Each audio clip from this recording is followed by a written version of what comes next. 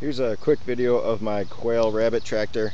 It is 10 feet long total. The runners are 2 by 6s 10 feet long. And then each cage is 3 feet. And then the width is 4 feet. It's just made out of 2 by 4 cross members. And the runners again are 2 by 6 And there's one 2 by 4 that goes across the top there. The rest of it is 2 inch by 4 inch welded wire fencing. Just folded up.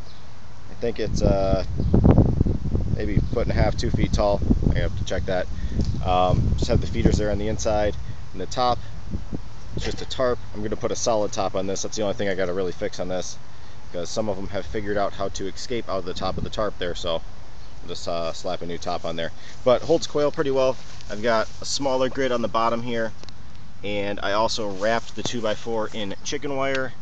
Or I think this is uh, one inch squares because they were walking right through the 2 by 4 inch even at like four or five weeks old. Six weeks old, some of them still could fit through there if they were runts.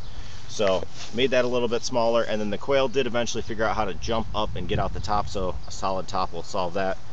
But overall it's three sections. Each one is three foot by four foot and each one could hold about 75-ish quail.